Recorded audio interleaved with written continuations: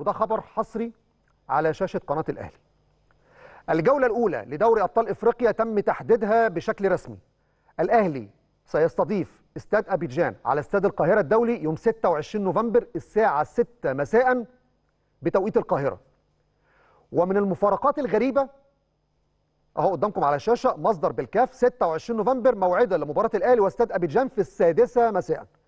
ومعلومة لحضراتكم كولر والجهاز الفني للنادي الأهلي ليه وجهه نظر ورؤية إن كل مباريات الأهلي هنا في القاهرة تتلعب الساعة 6 تتلعب الساعة 6 بس الجولة الأولى فيها موقف صعب شوية.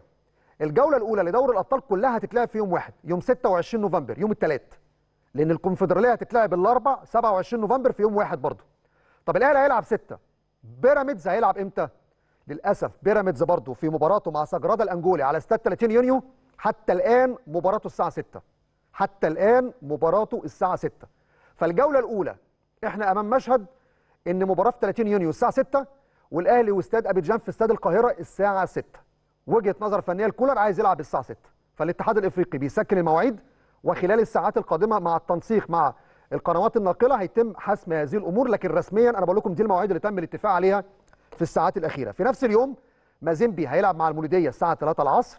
وبالليل في ديربي وكلاسيكو ما بين الرجاء المغربي والجيش الملكي المغربي الساعة 9 مساء.